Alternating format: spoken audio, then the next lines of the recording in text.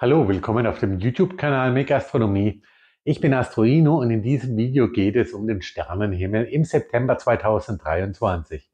Wir haben Herbstanfang am 23. September. Die Nächte werden spürbar länger, die Dunkelheit kommt früher. Das ist besser zum Beobachten. Ich gehe auf die Astronomiebörse in Kreuznach ein und auch auf den Kometen C2023 P1 Nishimura. Zudem geht es um die Planeten und natürlich auch um den Sternenhimmel mit den schönsten Objekten, die ich teilweise auch selbst fotografiert habe mit dem Dwarf 2, mit dem kleinen Smart-Teleskop. Ich wünsche euch viel Freude beim Einschauen. Wenn euch das Video gefällt, liked es. Ich freue mich sehr über einen Kommentar und am meisten, das wisst ihr ja, freue ich mich, wenn ihr den Kanal abonniert. Ich bin mittlerweile über 900 Abonnenten. Die Tausender-Grenze ist in Sichtweite. Doch nun viel Spaß beim Einschauen vom Sternenhimmel im September 2023.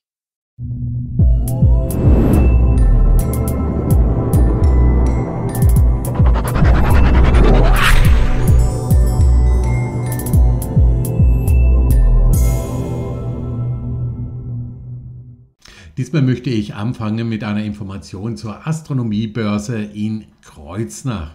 Die Astronomiebörse findet dort zum zweiten Mal statt. Letztes Jahr war ich auch schon dort auf einer Astronomiebörse. Da finden Sternenfreunde gebrauchte und neue Teleskope, Literatur, man findet Gleichgesinnte, es gibt Vorträge, also ein ganz tolles Event, wo man mal wirklich mit Leuten zusammenkommt, die das gleiche Hobby haben. Informationen zu der Astronomiebörse findet ihr auch noch unter deren Webseite www www.astro-börse-kreuznach.de. Die Messe findet statt am 30. September von 10 bis 18 Uhr. Schauen wir uns mal an, wer denn diese Astronomiemesse durchführt. Hier sieht man auch das Motto von Amateurastronomen für Amateure. Es sind also auch begeisterte Astrofotografen und Amateurastronomen, die das Ganze organisieren. Hier sieht man ein Bild. Einige von ihnen durfte ich letztes Jahr auch persönlich kennenlernen. Auch hier hat man noch die Info, dass es eine Sternwarte im Bad Kreuznach gibt, wo diese Menschen aktiv sind. Ich will hier noch ganz kurz auf die Vorträge eingehen, was auch immer wieder sehr interessant ist. Und jetzt für mich persönlich, also ich kenne auch einige Namen, Mimit Ergün habe ich schon kennengelernt, Frank Sackenheim natürlich, wer sich für Astrofotografie interessiert, kennt seinen YouTube-Kanal sehr empfehlenswert. Astrofotograf Bernd Bröschold ist auch ein Begriff für mich, ja, oder auch Dani Herzberg. Da habe ich auch schon viel im Facebook gelesen über ihre mobile Sternwarte, mit der sie unterwegs ist. Also werft mal da einen Blick auf die Seite. Es würde mich freuen, wenn ihr auch hinkommt. Ich werde auf alle Fälle auch da sein. Das ist ein Bild von mir vom letzten Jahr, wo ich auch so ein bisschen was verkaufe, meine Mondkrater, meine so Wittsteine. Ja, und es würde mich auch freuen, wenn ich euch dort mal persönlich kennenlernen darf. Für die Präsentation des Sternenhimmels verwende ich die kostenlose Software Stellarium. Ein Link dazu findet ihr in der Videobeschreibung, da könnt ihr euch die Software selbst herunterladen und auch benutzen. Es ist wichtig in Stellarium den richtigen Ort anzugeben, wo der Himmel angezeigt werden soll. Ich verwende 50 Grad nördliche Breite und 10 Grad östliche Länge, ein Ort, den ich mitten in Deutschland nenne. Ich gebe wie gewöhnlich auf den Sonnenlauf an. Am 1.9. befindet sich die Sonne im Sternbild Löwe und sie weitet dann immer weiter Richtung Jungfrau. Achtet mal hier unten auf den Merkur. Der hat hier am 7. seine untere Konjunktionsstellung. Das bedeutet Sonne, Merkur und Erde bilden eine Linie. Ich blätter hier weiter. Ihr merkt schon, wie Sonne und Merkur, wie sie sich immer weiter voneinander entfernen. Merkur bietet auch eine Abendsichtbarkeit gegen Ende des Monats. Da komme ich später noch drauf zu sprechen. Ich blätter mal weiter. Am 17. betritt die Sonne das Sternbild Jungfrau. Hier sieht man übrigens auch den Kometen C 2023 P1 Nishimura. Ja, leider ist das sehr nah an der Sonne dran.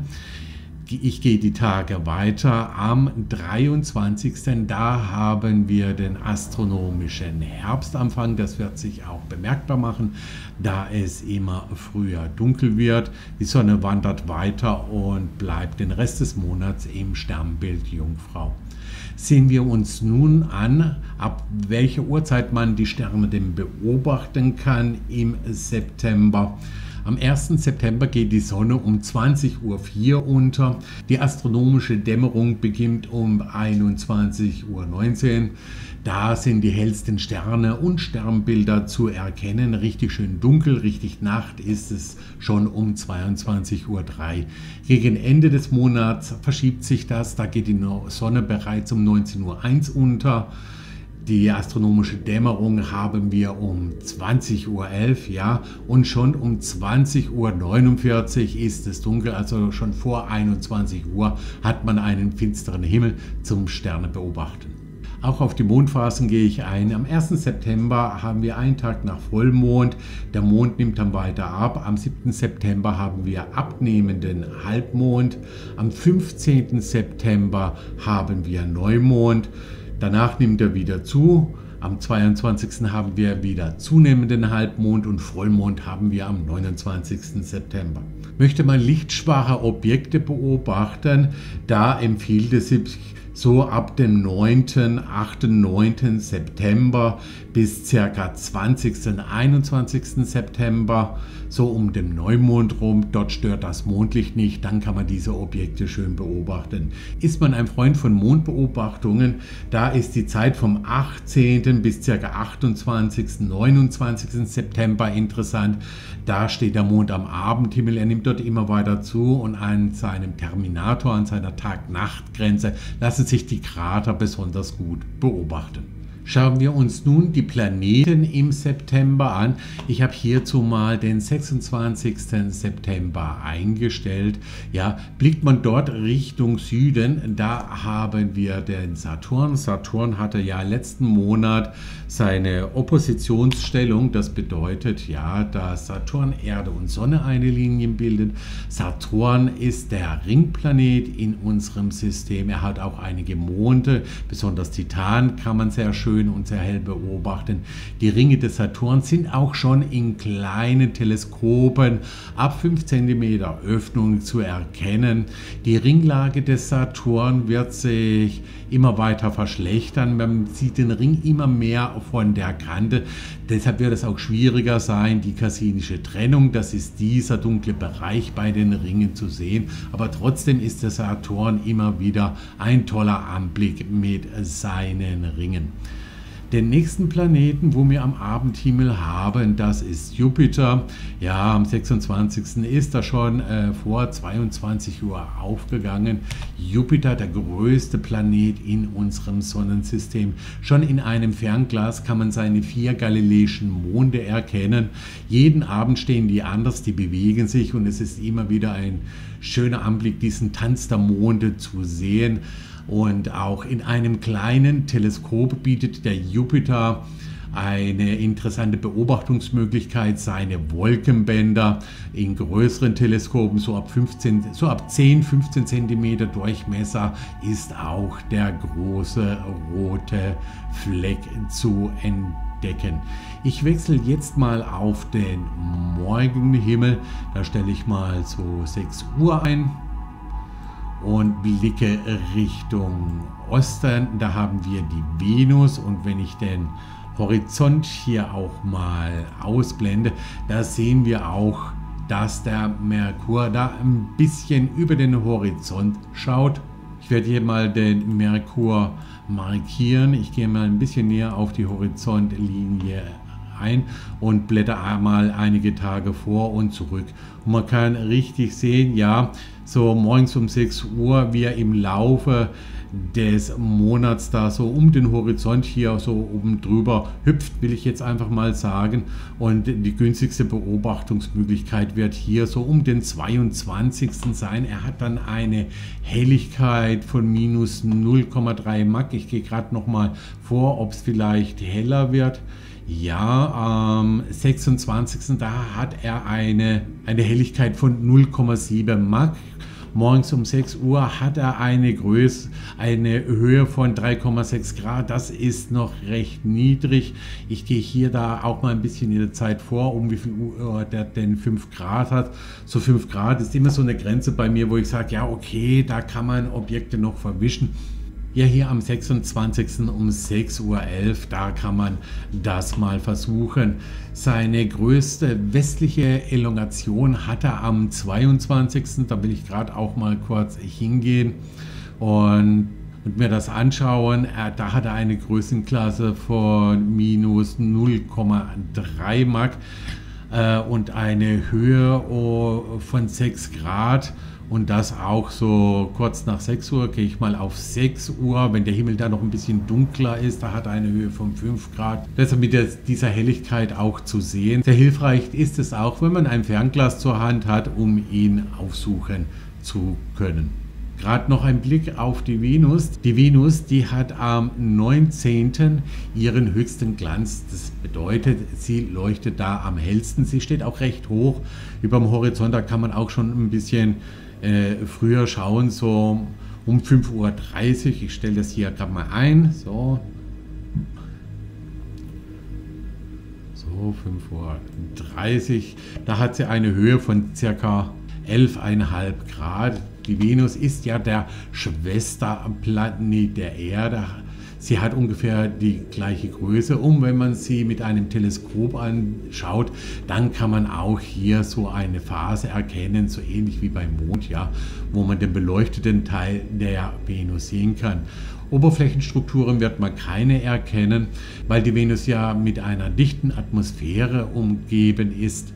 Am besten kann man die Planeten beobachten, wenn sie entlang der Ekliptik hoch am Himmel stehen.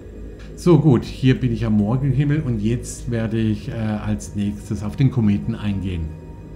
Zu dem Kometen C2023 P1 Nishimura. Ich habe dazu schon ein separates Video gemacht, ja, das werde ich mal verlinken, das könnt ihr euch noch anschauen und ich werfe als erstes einen Blick auf die Seite astrofanbuitenen.nl, ja, da gibt es immer interessante Informationen zu Kometen. Heute, wo ich das Video aufnehme, am 31. August, hat er schon eine Helligkeit von 6,7 Magnituden. Wenn ich das hier in Stellarium vergleiche, so, da unten drauf, ja, da wird er mit einer Größenklasse von 7,9 Mark angezeigt, ja. Also er ist da circa ein Mark heller. Ähm, die Helligkeit wird hier angegeben, ja, zum einen mit Messungen von Astronomen, ja, visuell, das sind die blauen Punkte oder auch äh, photometrisch, das hier sind die schwarzen Punkte. Und man sieht schon anhand dieser grünen Linien, dass er etwas heller werden soll, wie erwartet, ja. Ähm, es ist so, er soll eine Helligkeit hier von sogar 2 Mach erreichen. Das ist das Schöne an dem Kometen. Endlich mal wieder ein heller Komet, aber denkst du, er ist so nah an der Sonne, dass er praktisch überstrahlt wird. Ja, jetzt hat man mal wieder einen hellen Komet, ja, und dann ist die Winkelposition zur Sonne so ungünstig, dass er da nicht beobachtbar sein wird. Aber gucken wir mal an, welche Chancen wir denn haben, ihn zu sehen. Dann wechsle ich wieder auf Stellarium. Ich gehe hier mal so auf den 9.10. Ja, und schaue mir an, was er für eine Höhe hat. So, da haben wir eine Höhe von ca. 7,5 Grad. Ja, ist eigentlich gar nicht mal so schlecht, ja, wenn man um 5.30 Uhr Richtung Osten, Nordosten schaut, dann hat er eine Größenklasse von 5,4.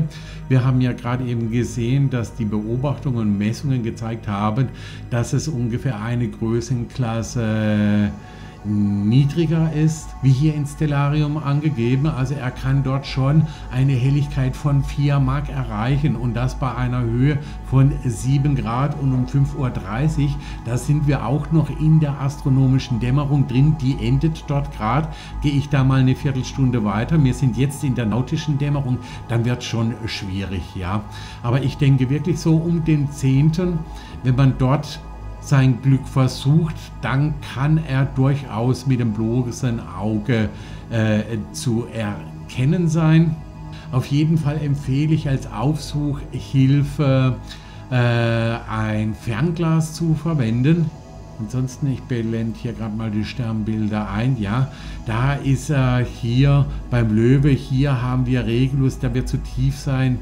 Ja, wenn man von der Venus so Richtung Nordosten ein bisschen schräg nach unten geht, am 10. da sollte man sein Glück versuchen. Natürlich, man braucht für die Beobachtung eine freie Nordostsicht. Ja, es dürfen keine Bäume, Gebäude oder sonstige Hindernisse im Weg sein. Man braucht eine klare Luft. Wenn dort äh, so Schleierwolken sind oder so, äh, wird man auch schlechte Karten haben.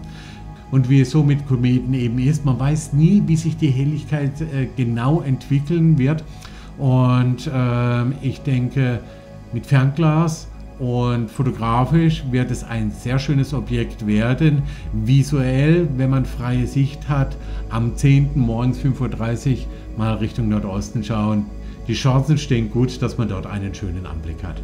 So, weiter geht's mit dem Sternenhimmel im September. Ja, der Bärenhüter mit Arcturus neigt sich dem Westhorizont am Untergehen zu.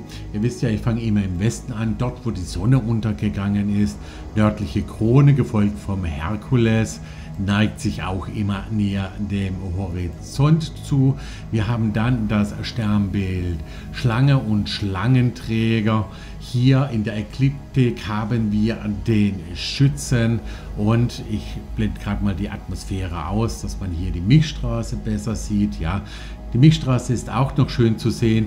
In dieser Region bin ich in den letzten Videos drauf eingegangen. Diesmal werde ich mich weiter Richtung Süd-Südosten wenden. Ja, aber gehen wir erstmal der Ekliptik entlang. Nach Schütze haben wir Steinburg, dann den Wassermann, wo der Saturn drin ist, gefolgt von Fische und Widder. Unterhalb der Ekliptik wird es schon schwer, das Sternbildmikroskop oder südlicher Fisch zu erkennen. Hierzu verwende ich übrigens ja sowas ähnliches wie ein Opernglas, ein Milchstraßenfernglas. Gehen wir nun über die Ekliptik, ja, da haben wir das Sternbild Adler. Noch weiter höher haben wir Schwan und Leier. Das bildet ja das Sommerdreieck. Ich blende es hier gerade mal ein. Der Sommerdreieck bildet sich aus den Sternen Dene, Vega und Altair. Links daneben, da haben wir schon den Pegasus, das geflügelte Pferd, ja. Und hier dieses Viereck wird auch das Herbstviereck genannt. Im Anschluss haben wir das Sternbild Andromeda und Perseus. Und diesmal fange ich doch hier unten mal beim Steinbock und Wassermann an. Da gibt es nämlich ein Objekt, das immer höher steigt, recht niedrig ist, ja, aber immer höher steigt. Und zwar ist das der Helixnebel. Ja, wenn man ihn sieht, einige kennen auch, ihn auch unter der Bezeichnung das Auge Gottes. Es handelt sich hierbei um einen planetarischen Nebel, der ca. 650 Lichtjahre entfernt ist und ein Alter von ca. 10.600 Jahren hat. Bei diesen planetarischen Nebeln handelt es sich um ehemalig massereiche Sterne, die ihre äußere Hülle abgeworfen haben. Und ihr wisst ja, ich fotografiere ja auch immer hier ein bisschen selber. Da will ich auch ein Bild zeigen von dem Helixnebel. Das habe ich mit dem Dwarf 2 aufgenommen. Das Dwarf 2 ist ein Smart-Teleskop mit nur 24 mm Öffnung und trotzdem kann man hier bei einer Belichtungszeit von 30 Minuten schon erkennen, ja, die roten Bereiche, das ist der Wasserstoff und die grünen Bereiche, das ist der Sauerstoff. Dann gehen wir zum nächsten Objekt. Das ist ein Sternhaufen, wo wir hier haben, und zwar M30 der sogenannte Quallenhaufen, ja, auch wenn er recht tief hier am Horizont ist. Man geht einfach hier vom Steinbock von diesem Stern zum nächst helleren und dort befindet er sich auch.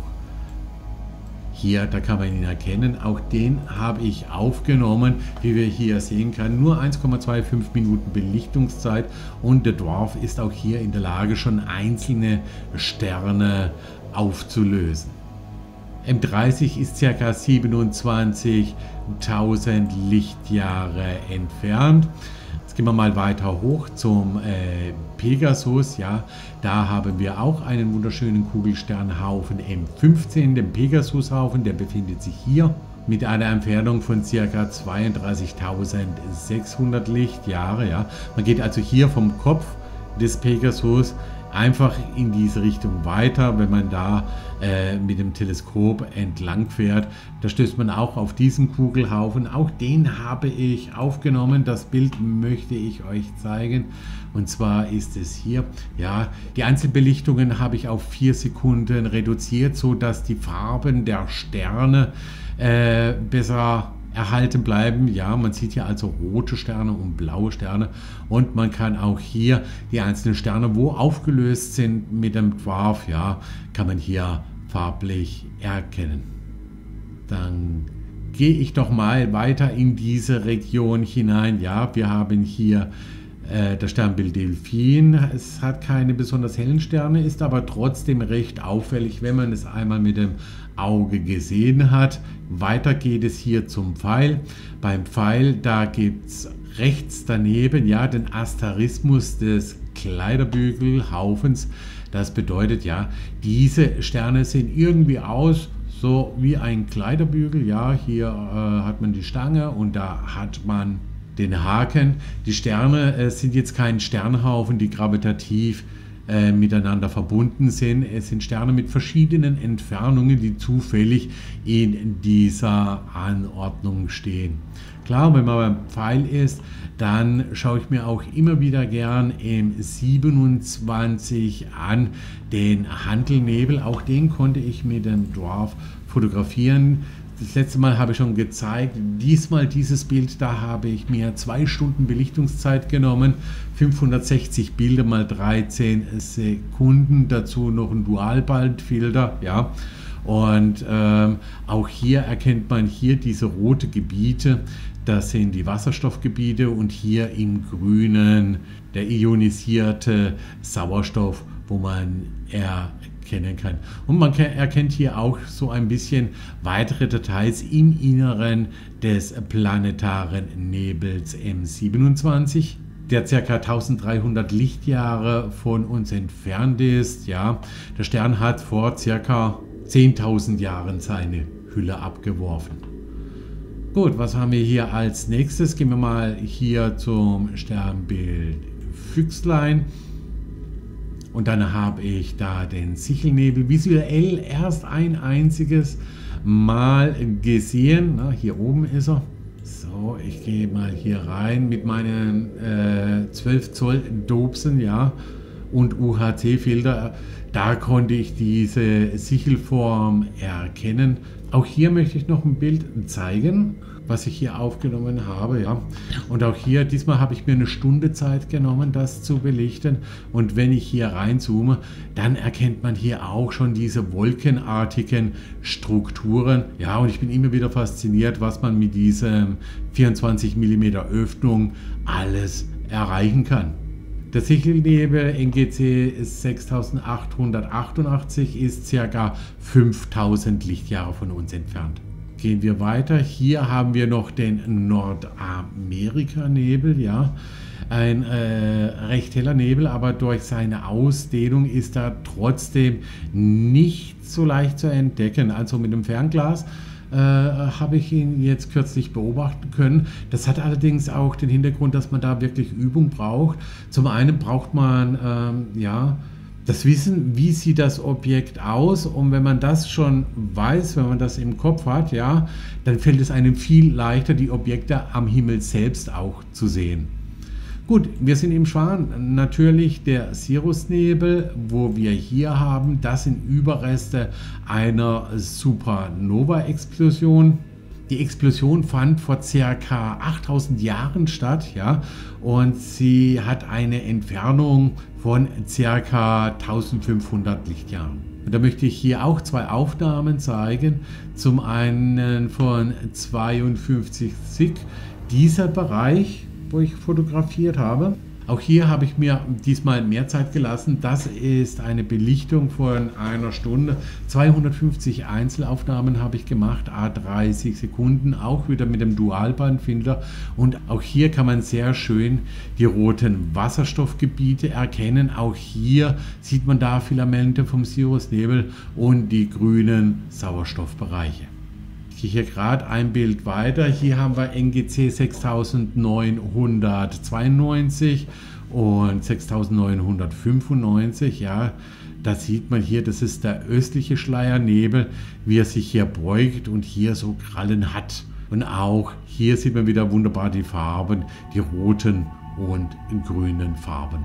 Dann gehe ich mal weiter zurück. Was haben wir denn noch hier im Süden, wenn man hoch an den Zenit schaut? Ja, hier, da möchte ich auch noch auf den Ringnebel in der Leier eingehen. Ein kleines O, das man zwischen diesen beiden Sternen finden kann. So, auch das habe ich fotografiert. So, diesmal habe ich mir äh, für das Foto 500 Aufnahmen vorgenommen mit einer Belichtungszeit von insgesamt 20 Minuten. Ich habe sehr kurz belichtet, weil der Ringnebel doch relativ hell ist. Und wenn ich hier reinzoome, ja, dann erkennt man auch wieder diese roten und grünen Bereiche in der Mitte. Was auch interessant ist, das ist mal der Vergleich. Also wenn ich mir den Ringnebel ähm, 57 hier mal ausmesse. Na, komm, so, was hat er ungefähr? Ja, eine Bogenminute und circa 18 Bogensekunden. Und jetzt gehe ich nochmal auf den äh, Helixnebel. So, wieder da unten, dort beim Wassermann. Hier unten war er. Und jetzt messe ich diesen mal aus.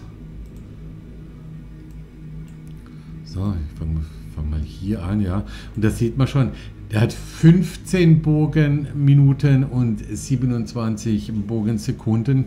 Ja, er ist also fast zehnmal, zehnmal größer wie der Ringnebel in der Leier. Auch interessant. So, dann haben wir den Bereich, ja, der hier im Süden sich bis zum Zenit erstreckt. Gehen wir weiter Richtung Osten. Pegasus ist ja aufgegangen, Andromeda kann man schön am Himmel sehen, Perseus und das Dreieck. Hier bei Andromeda natürlich ganz prominent die Andromeda-Galaxie. Auch die lässt sich wunderbar mit dem Dwarf aufnehmen. Das ist hier mein Foto, zweieinhalb Stunden Belichtungszeit, ja. Und auch auf dem Bild kann man schon hier diese äh, dunklen Strukturen erkennen, diesen Staub in der Galaxienscheibe. Auch hier sind sie zu sehen. Man sieht auch die kleine Begleitgalaxie und hier oben auch M110. Ganz in der Nähe hier im Sternbild Dreieck, da haben wir die Dreiecksgalaxie. Ja, beides ist recht einfach zu finden. Ja, geht mal hier vom Mirage diese drei Sterne hoch, dann kann man die Andromeda-Galaxie bei günstigen Bedingungen, also klarer Himmel, kein Mond, keine störenden Lichter von der Stadt, da kann man die schon mit bloßem Auge erkennen. Ja. Hier unten, wenn man vom Mirage diese Strecke nach unten geht, dann kommen wir auf die Dreiecksgalaxie, ja, hat eine recht hohe Hellenflächigkeit. Flächenhelligkeit, ja, aber visuell äh, mit bloßem Auge konnte ich sie noch nicht sehen. Mit dem Teleskop ist sie recht einfach zu finden. Auch diese habe ich hier fotografiert. Gehen wir hier eins weiter. Eine Stunde Belichtungszeit und man sieht hier auch schon wunderbar die Spiralstruktur von der Dreiecksgalaxie. So, gehen wir mal am Himmel weiter entlang. Hier zwischen Perseus und Cassiopeia ein sehr schönes Objekt für Fernglas und Teleskop. Das ist der Doppelsternhaufen H und G Persei. Das sind zwei offene Sternhaufen.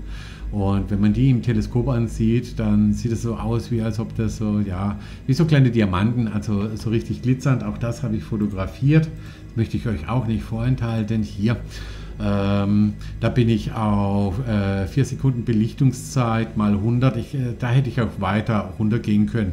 Also hier hätten äh, 50 Bilder, 30 Bilder vollkommen äh, gelangt.